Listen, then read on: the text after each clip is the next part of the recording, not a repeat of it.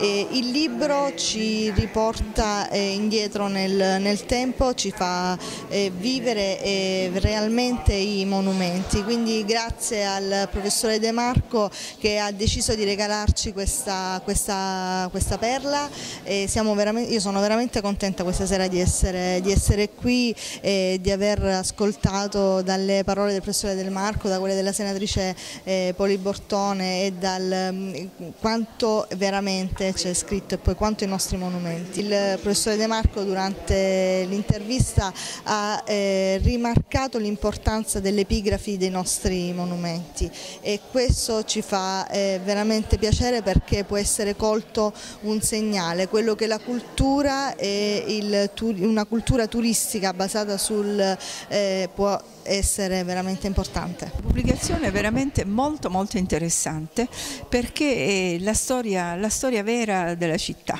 la storia della città attraverso diversi ordini monastici, per esempio, quindi tantissimi. Io stessa non sapevo che ci fossero stati tanti ordini qui nella nostra città. Non sapevo che ci fossero state anche tante famiglie nobiliari che si erano molto oh, prodigate anche per, eh,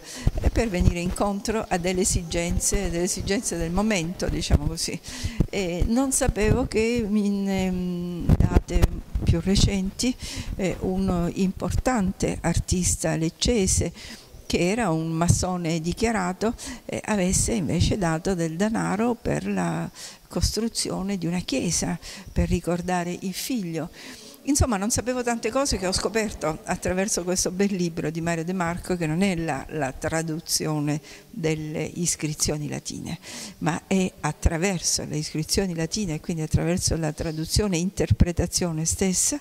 è la storia della nostra città, una storia civile, una storia sociale, una storia religiosa che dovremmo conoscere perché eh, essere mh, consapevoli della propria identità secondo me è un fatto importantissimo, specialmente in questo momento in cui parliamo tanto di multiculturalismo e c'è chi ha paura di confrontarsi con gli altri. Il confronto con l'altro lo puoi fare quando sei forte delle proprie radici, quando conosci bene la tua storia, le tue radici e ti senti assolutamente padrone della tua identità. Io penso che ciascuno di noi eh, deve conoscere a fondo la città nella quale vuol fare politica culturale,